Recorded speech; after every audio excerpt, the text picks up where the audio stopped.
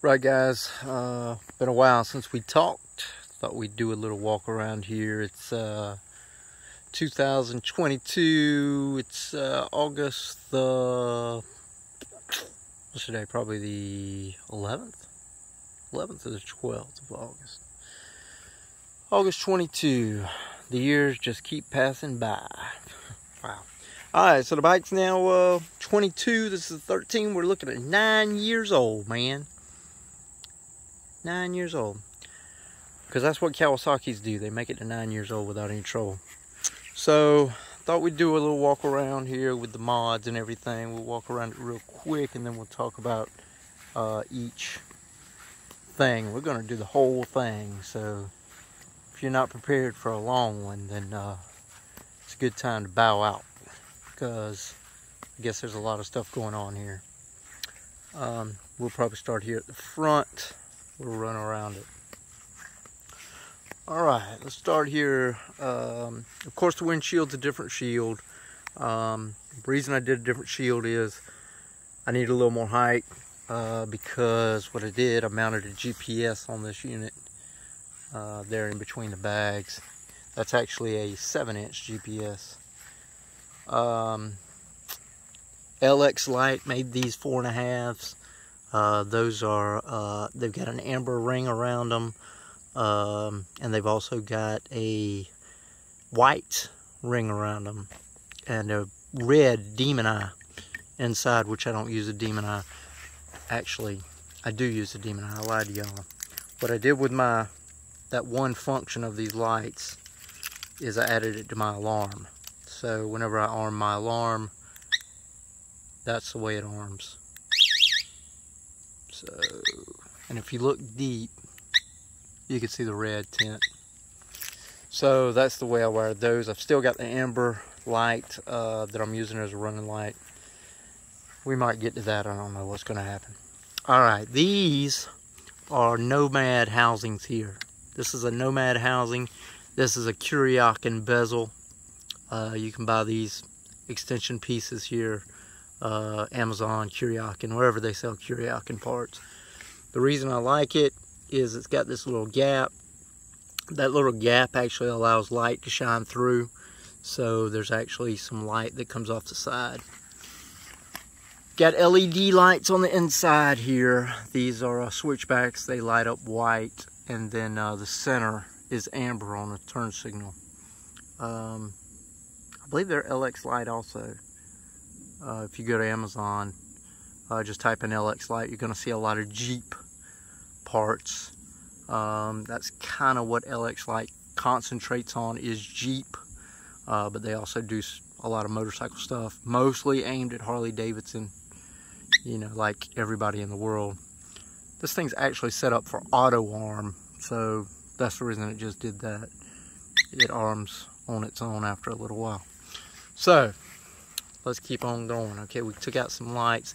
This, of course, comes with the set too. That's a 7-inch uh, headlight, um, LX light again. You can buy you can buy them separate. You can buy it as a kit. Um, so we took care of the signal. Of course, I'm using some horns here. These are some cheap horns from Amazon. I know there's a company that does Moto horn. I've never heard a Moto horn li uh, live and in person, so I don't know how they sound live and in person. Uh, on the internet, they sound absolutely amazing. They sound super duper loud. Don't know if that's the way they sound in real life. But my guess is, is that a Moto horn and these Amazon horns or other air horns are pretty much the same thing. These are very loud. I've got two of them. Got one on each side. The reason I did that is there's two reasons I did that. Just for uniformity of the look, number one, for where I was mounting them, because they look like, hey, we halfway belong here.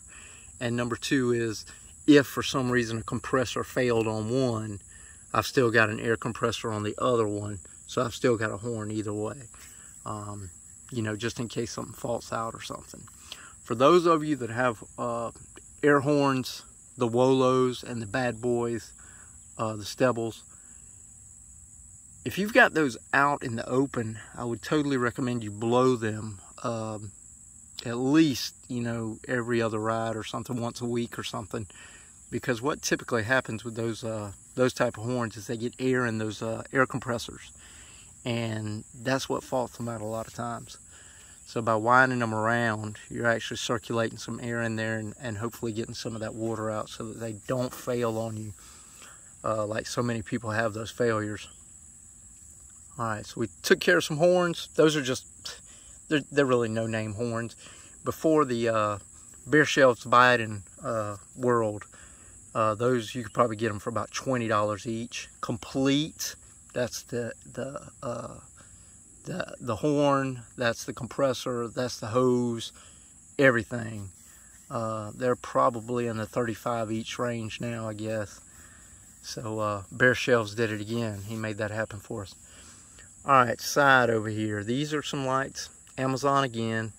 Um, man, I couldn't tell you who made these. These are pretty Chinese-based uh, company did it, I know.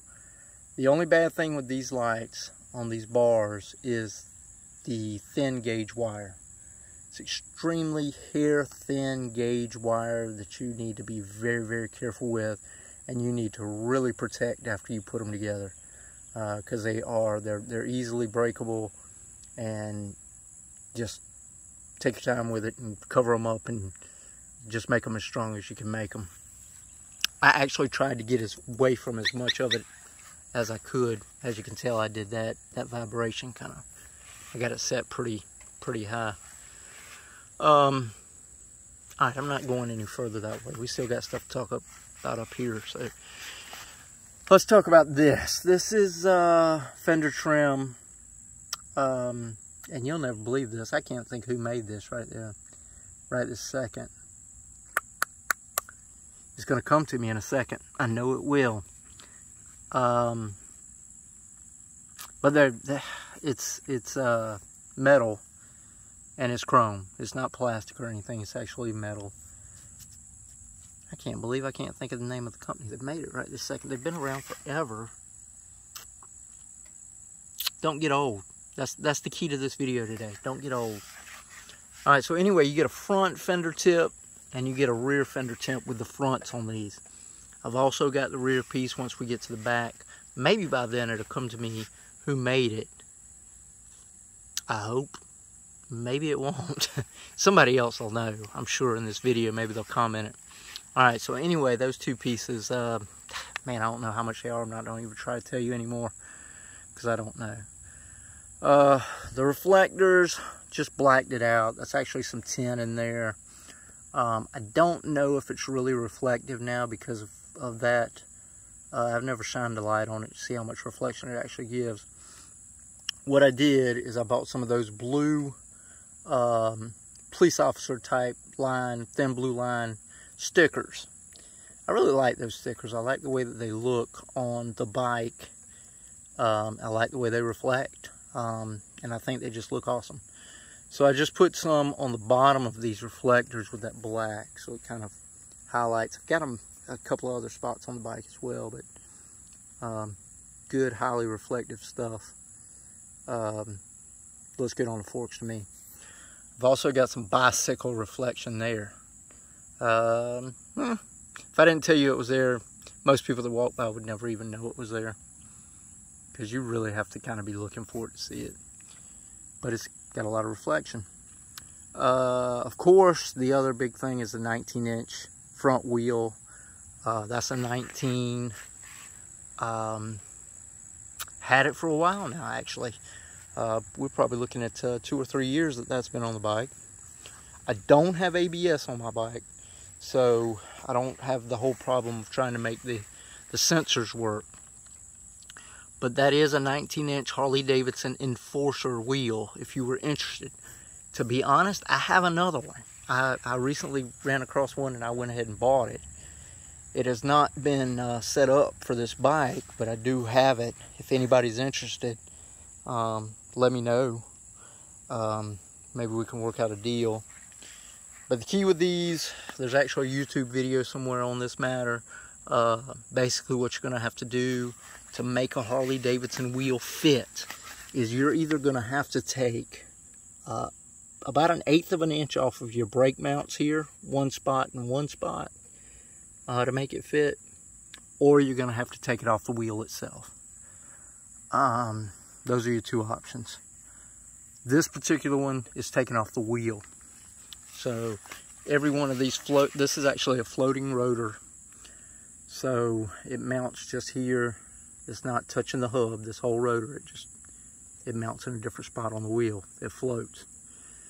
So it's got five different mounts. Uh, so each one had an eighth of an inch taken off. And the reason for that is so that the brake will actually uh, center up with the rotor. If we didn't take that eighth off, we would not be able to fit it in the rotor back there. So it's got to fit in the rotor. Where is my rotor? I mean my caliper. Maybe you can see it, maybe you can't. I think I see one of the brake pads on the left side of the screen there. So that's that. then of course you need to either rework your um, your spacers or get some new ones made. Um, those are made uh, from a company on eBay. I think they charge like 12 bucks for each spacer. And the dimensions are on that YouTube video if you just search for a HD Enforcer wheel on a Kawasaki Vaquero or a Voyager, one of the two. Um, so this side we pretty much, we've taken care of that. Let's keep on going. Of course, trim, chrome trim. This is just door trim for a car, just around. Uh, back the other side, we still got a light there. got some door trim going down there. Jeez, that thing is sensitive. All right, so this is a Kuryakyn uh, stirrup uh, highway pegs. Uh, I don't know how much they run anymore. Prices are just so crazy anymore. You just, what it used to be isn't what it is anymore. Seems like this is probably a $100 or so. Well, I take that back. Probably about 150 new. Some things for this bike that I know are probably in good shape. You know, it's pretty tough to make. that thing's annoying it's tough to uh, really, you know, make these things look bad other than normal wear and tear. These actually came used off of eBay, and uh, I probably gave 75 for them. Um, probably 75. I think they came with the, the whole setup. Um, so I think it was 75. The good thing with this particular um, style is they are not copied. Um, the Chinese haven't copied this particular style. Man, that thing is sensitive. But now the regular Kuryakyn dualies, you're going to find just the dualies have been copied. Just everybody has copied them. So you don't really always know that you're actually getting the, the actual Kuryakyn uh, brand. Uh, the good thing with Kuryakyn is they last forever. I tell people all the time, if you're going to do clamps, clamps, Kuryakyn. Don't waste your time with the Chinese stuff. Get the Kuryakyn. They've got some uh, extra parts in there, extra components that really make that thing grab. Whereas the Chinese just, they simply have a clamp and once that bolt goes through, they're hoping that it's going to clamp tight. Kuryakyn actually has teeth that help it to actually clamp and hold together. Uh, this is something anybody can do right here um, these are actually pockets. They match up right up here. Those pockets down here are actually a windshield bag and uh, just tore the windshield bag apart and we're just keeping the bags down here.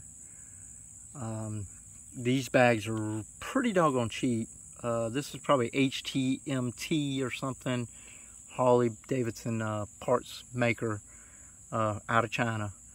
So they make these windshield bags. So I'm thinking 29 to 35 bucks for the whole bag, for the whole setup. That'd be two bags and a center pouch. Um, if you're thinking about doing them, they don't fit perfectly, but you know, nothing really ever does. Speaker on the side, I of course did a big air kit, so that's the reason I have all this available space. Um, and we'll get to that once we get on the other side. We'll talk about my big air kit. This is just fiberglass, um, a fiberglass sub enclosure. It's not going to put out a ton of bass because it doesn't have a lot of airspace in here.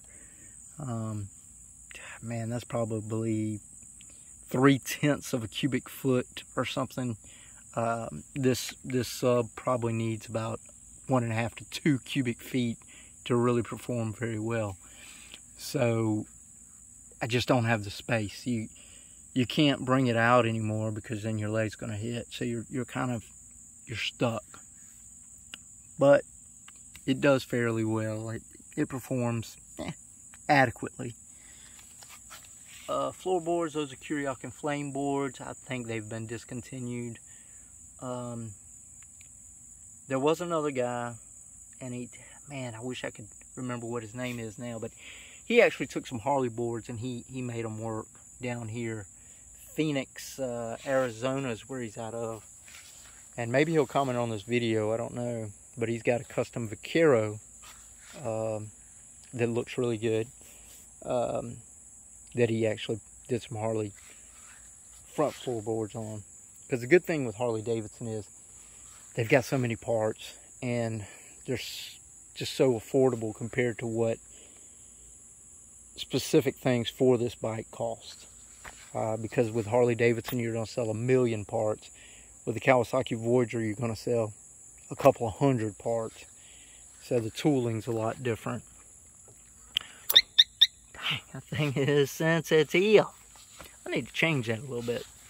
Alright, so these are also Kuryakyn boards. Um, Y'all have to look them up. Have no idea what the part number on this is or anything else. Um, they've got these retractable pegs, which are sold separate from the boards. But uh, I had these on my last bike and got them for my wife. But what happens is these can not be used. Your foot's just down or we can kick them out. Now you've got a whole platform for your passenger. Stretch your legs out. Um, the only thing is if you're stretching your legs out, you know, whenever you go to stop, you need at least a little bit of space in here uh, to put your feet down. But that's the floorboard. It's a good looking board. It's a good looking board. All right, uh, where are we at now, y'all? Let's talk on, talk on, talk on. Six and a half speakers in the bags. Um, really haven't seen anybody doing it. Uh, in Vaquero land, they do it because engineered adapters, they actually made a pod for their bags. Um, six and a half on the Voyager is very difficult to do because the bags, because of how they seep in right there. If you can tell right here, my hand actually goes up under that speaker a bit. So it's it's tough to get a six and a half to fit flush. A five and a quarter fits perfect. Okay, if you want to do a five and a quarter in this bag, cut out the hole. It's going to sit flat. Everybody's going to be happy. Six and a half. Got another video on this. Six and a half. The key is you got to get some spacer adapters. So what this adapter right here does, that's the reason they're so tall, because there's an adapter in here. What it actually does is it takes a five and a quarter hole and it makes it into a six and a half inch speaker adapter. So your your cutout doesn't have to be as wide and as large. So it for this particular situation, it makes it so that we could put a six and a half in there and actually halfway make it look decent and fit. Tweeters, whenever I put this speaker together, um, and the reason I did a component set on the rear is this is a solid speaker. These are not waterproof speakers. Um, and with a coax speaker, what you have is you've got that tweeter right there in the center. So around that tweeter, you've got a, an actual bit of a hole. So when rain comes in or water of any kind gets in there, it can work its way right between the tweeter and the woofer. So you might get some bag leakage. So rather than deal with all that, I just did components. Um, I've kind of weatherproofed these with some Scotchgard. Um, it's working for me. Um, you know, other people it might not work. Uh, if you're in Seattle or something, it rains every day. You never know; it might not work for you. But that's the reason I did a component. So the tweeters, I didn't have anywhere down here for them. It just it wasn't gonna look right. It just wasn't gonna be right. So what I had decided a long time ago was I would put them in the seat. Uh, so that's what we did. Uh, cut a hole here in the seat, mounted the tweeters, and uh, it all basically goes together. You know, a lot of things we don't ever show for how we've done things. The wiring, there's there's a quick uh, release wires down there so we can remove the bags and everything. But all the wiring's down there, so tweeters, components, all wired in that same spot. Um, lighting, excuse me. Got some lights right here. Um, when I start the bike, we'll try to look at them. But those are some Amazon items again, pretty cheap. Um, Custom Dynamics actually makes a set that are specifically for Harley Davidson uh, Indians, all those kinds of things. But of course, I'm probably not going to fit our bike without some serious uh, work. So this is just a flexible light. Um, kind of like it. it. it. actually puts out a lot, and it's been a good light. It's uh, been on there for a year or two without any trouble.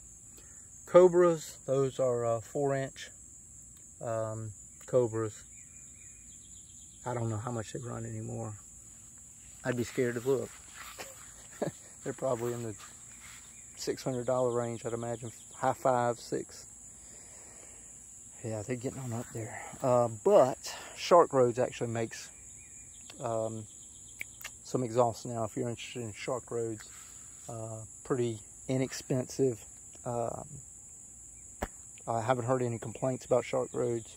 They do a black and chrome. They do a chrome uh, exhaust system. So uh, if you want to save some money, Shark Roads is good way to go. I mean, when you really think about exhaust, there's really nothing to it. It's just a pipe, for God's sakes, that somebody put chrome on. Uh, fifth grader could probably do it if they had all the tools. I don't have the tools. I wish I could chrome. That would be awesome, but can't. All right, this is light bar. Um, this is actually a three um,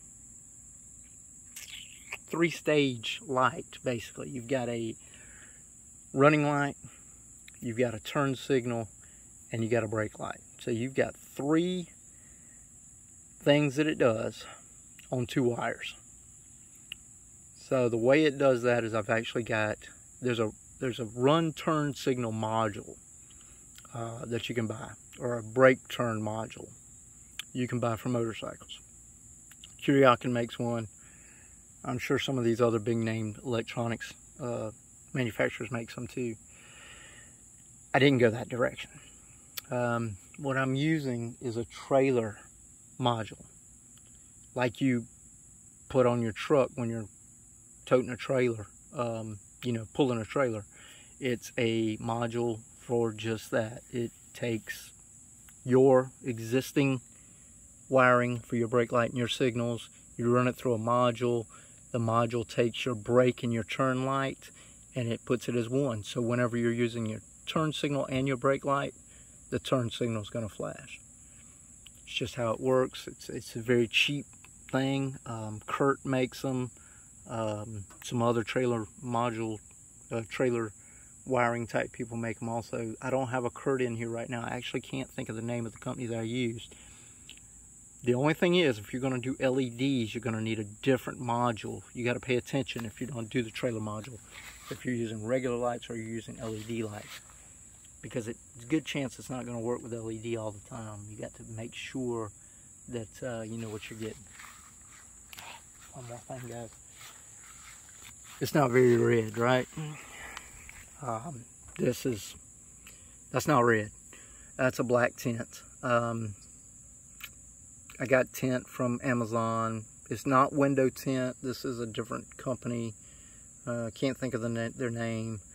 It's a little bit thicker, but it's black vinyl tint. So it just it it's not red anymore. It's a it's a black, and if you look real deep, you can kind of see the red through there with your LEDs. I try to get this thing going in a little while. I know it's been 25 minutes we've been talking, so um, I'll try to get something at the end.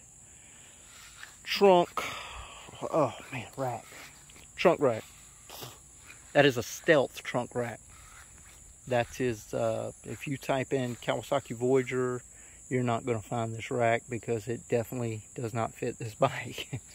um, but it can fit this bike. Um, the top pieces are something I added. That's that's just chrome trim. Um, I like black and chrome. That's just me. What it actually comes is just black. It's all black. So, um, and they're they're about eighty dollars or so. Um, but you're gonna have to come up with a system to mount it, uh, either with just some washers or some stands, something. Um, even cabinet knobs might be an, an option. I actually ordered some cabinet knobs for this thing to mount it up here. So those are all your options.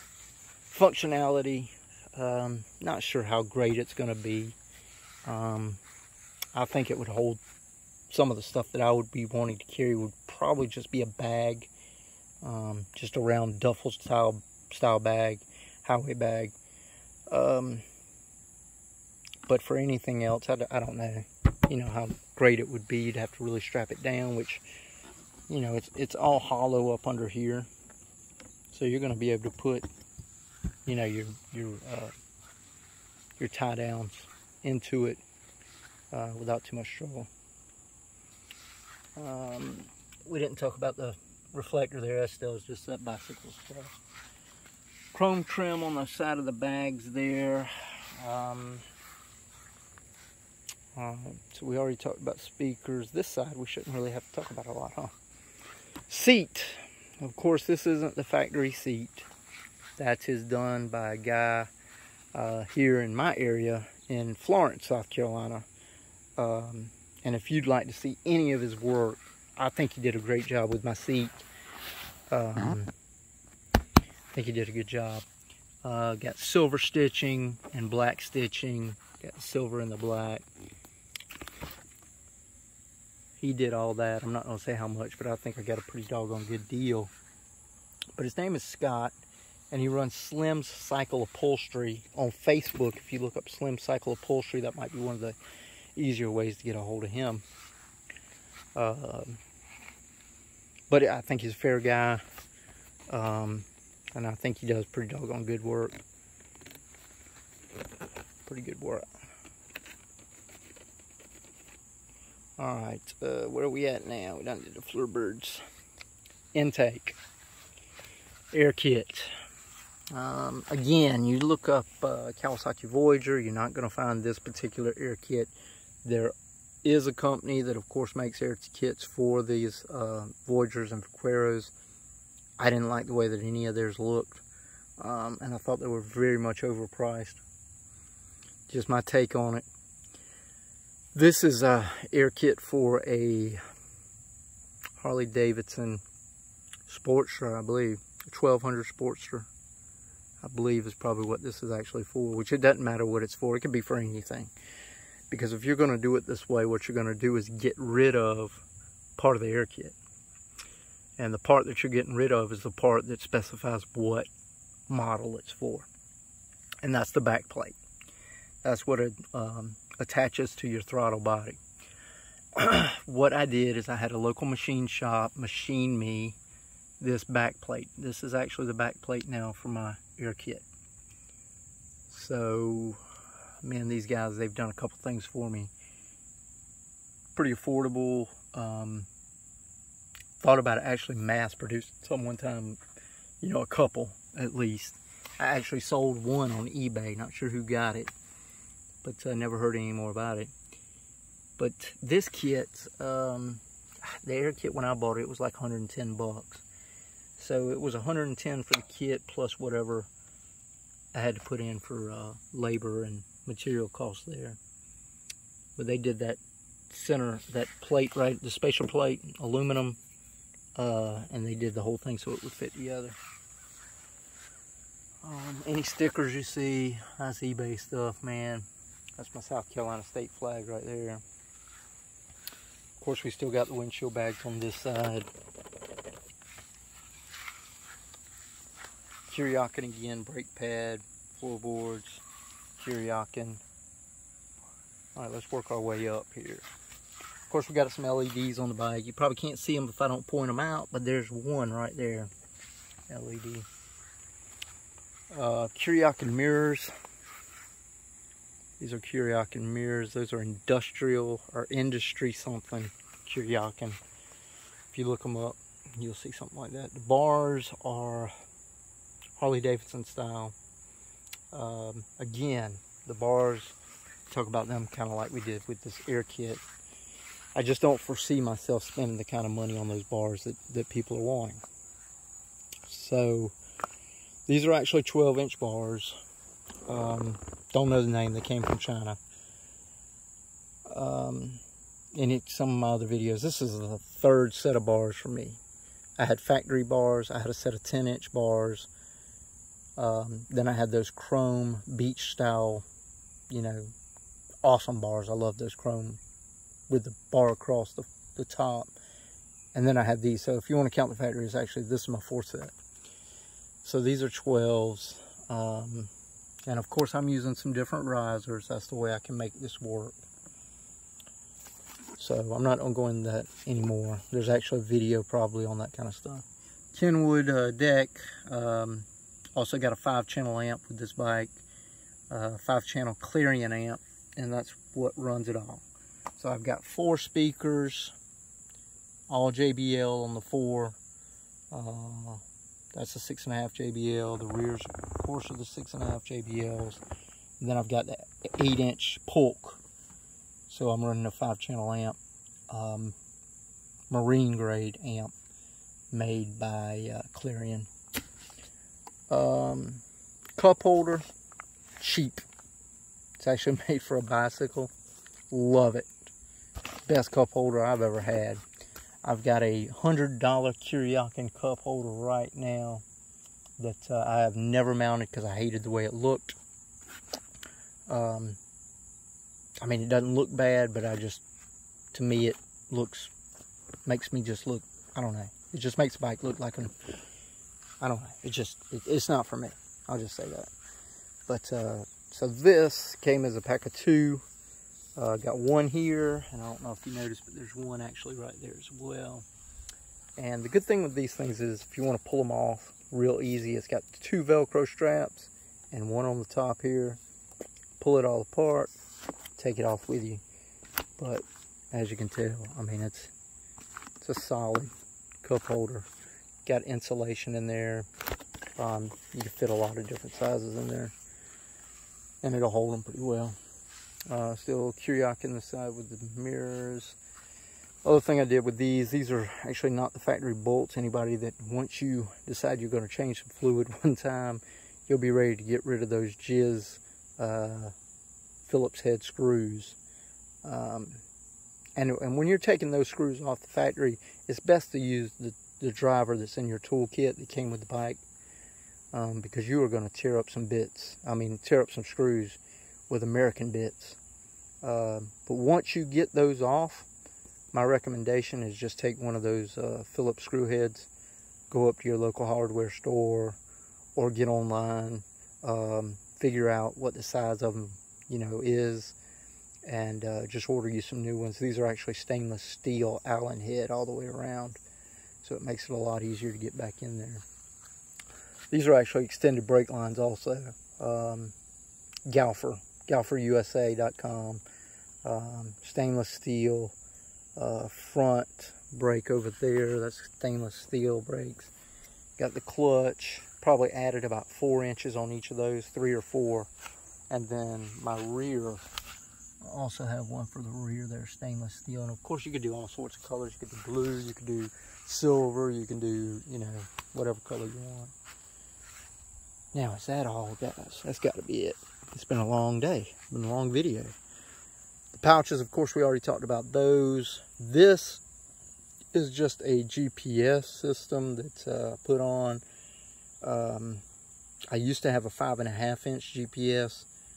Wanted a little bigger, so we went with the seven.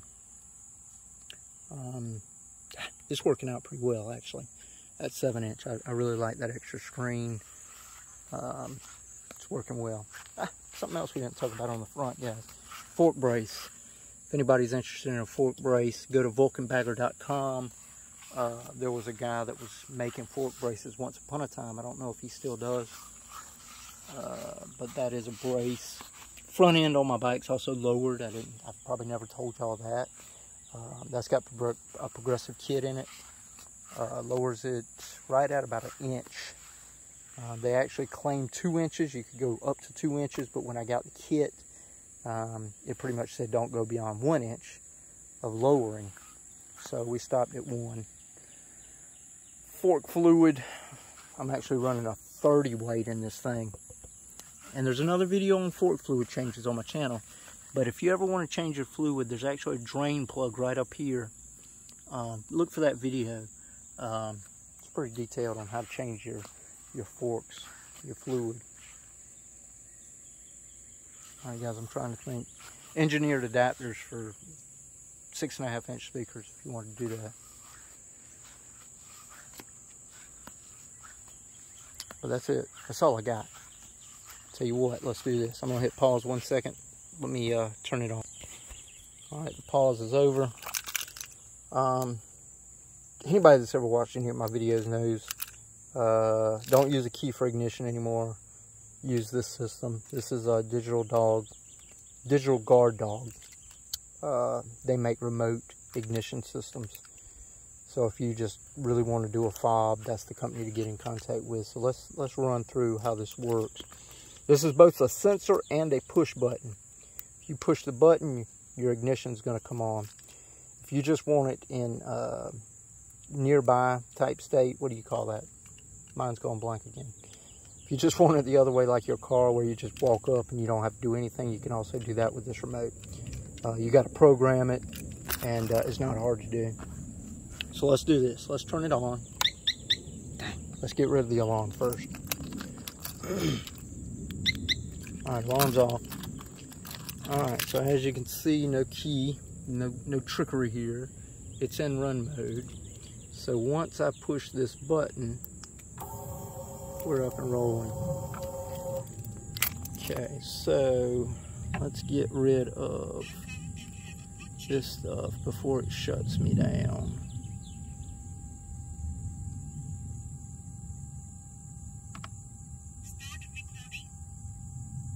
camera system. We didn't talk about that either. All right, cameras. Had these cameras for a very long time. There's my front dash cam. Ignition's on, cameras are rolling. That's how it works with this bike. Um, got one on the rear as well. Right up here. You see it? There it is. So, both ways. Rear lights. Here we go, guys. That's the rear lights. So the ignition's on, so we got all our lights going.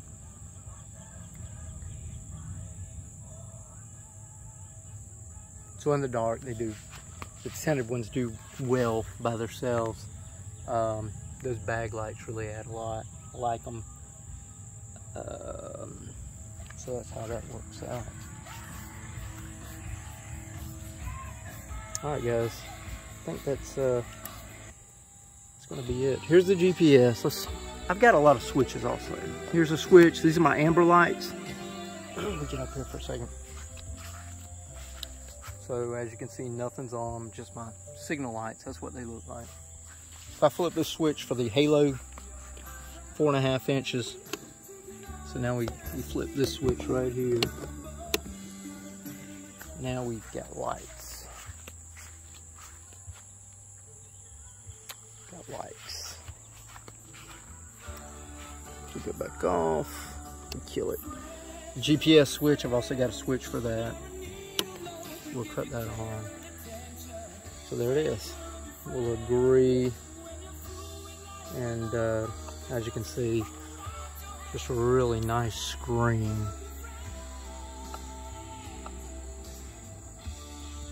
Real nice screen. So now we've got to be done. Let's do a hazards and, and I'm saying goodbye. I'm gonna tell y'all where to get some oil.